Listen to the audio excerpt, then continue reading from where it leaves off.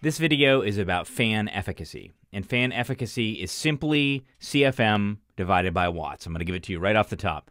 Fan efficacy is CFM divided by watts, just a very simple ratio of watts to CFM. California requires that you must have at least a 0.58 fan efficacy. Now, when we say fan efficacy, we're talking specifically about the blower. So the fan that moves the air around the inside of the building, not the condenser fan. So it's fan efficacy of the blower motor. And so in MeasureQuick, for example, they show fan efficacy as part of the measurements you can take if you are using a power meter, such as the Redfish IDVM 550, which is the meter that I'm using in my demonstration here. Uh, you use that to measure the wattage, which is simply volts times amps times power factor, in order to get that, those watts. And that's actually very important when doing this, the power factor piece, because many of these blower motors have very low power factors. That's just the nature of a lot of ECM motors. So you have to take that into account if you're going to get a true wattage number. So again, you take the CFM that the blower is producing and then you divide it by the watts measured with uh, a power quality meter like the Redfish meter shown. Now, that's one piece of the equation, but the most challenging piece of the equation is actually figuring out what CFM is the equipment producing. Now, if the equipment is new and you know exactly how it's set up, you can go to the fan tables for this piece of equipment, like the one shown for the unit that I'm working on, and you can go across, find the static pressure, and figure out what the CFM is. And generally, that's going to be quite accurate, so long as the system is set up exactly as specified in the fan tables. And then you also have to take into account if the thing has gotten dirty or anything has changed with the operation of the equipment. You've got to take that into account.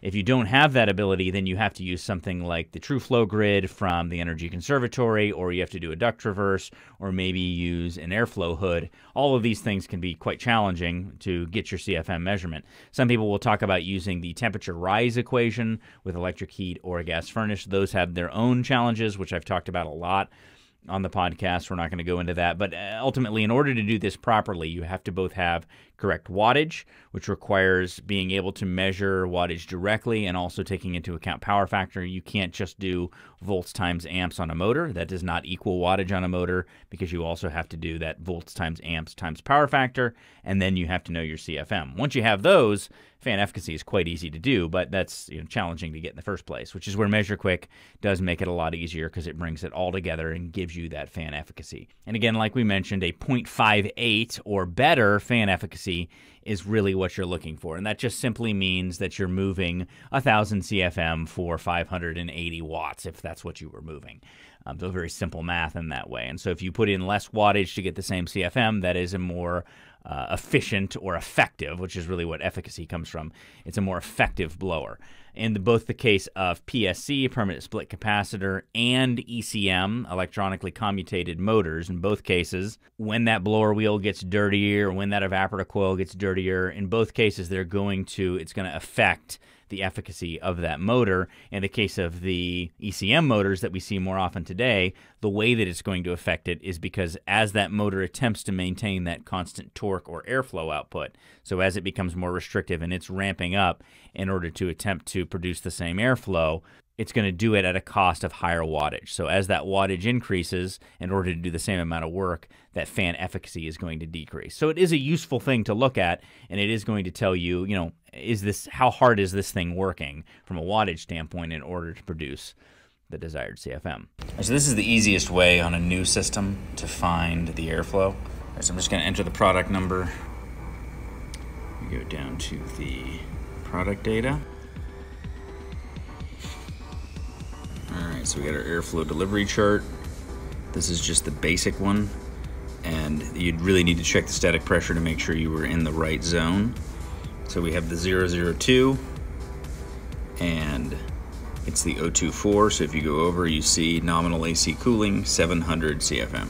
If you want to get more advanced, you can go down into the fan charts and you can see the acceptable range is from point to zero to 0.4 can look down at the fan curves here. This is for the 002. And if you have the 024, you can see that we maintain pretty much the same. If you look at the look at the cooling airflow, it's that solid line. You can see it stays pretty pretty much right at 700 all the way up to 0.6, and then it starts to drop off. This system here um, generally runs about 0.3 external static, as measured before. So if you if you want to use your fan charts, that's the way to do it. Otherwise, you can do a duct traverse or something like that. so I'm going to pull up MeasureQuick, connect. So we are connected here.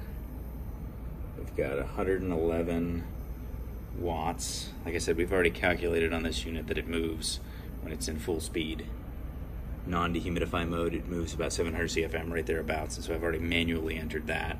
So 1.1 amps, if you just took amps times the volts, you'd be about double that wattage. But because it's multiplied by this power factor, which is very low on ECMs, 0.46, that's where we come up with that 110 watts. So if you were to just do volts times amps, that would be VA, not wattage. You can see here, this is milliamps, so it's 1.13 amps. Measures it very accurately, and this is a 208 building, so that's where we have the 213 volts. So now all we have to do, we'll, clear it and just recapture it, capture the, that data. So now this data is captured. Now if we go back, see our fan efficacy it's 0.16, which is very efficient. So for the 700 CFM it's running, it's doing it very efficiently. Now that power factor does factor into total circuit load because the amperage is still higher. But if you were to just have measured this with a non power quality meter, you would have thought that your wattage was significantly higher than this because of not taking into account the power factor. So it's important that you measure your airflow accurately and you measure your wattage utilizing volts times amps times power factor in real time. So that's fan efficacy. Thanks for watching.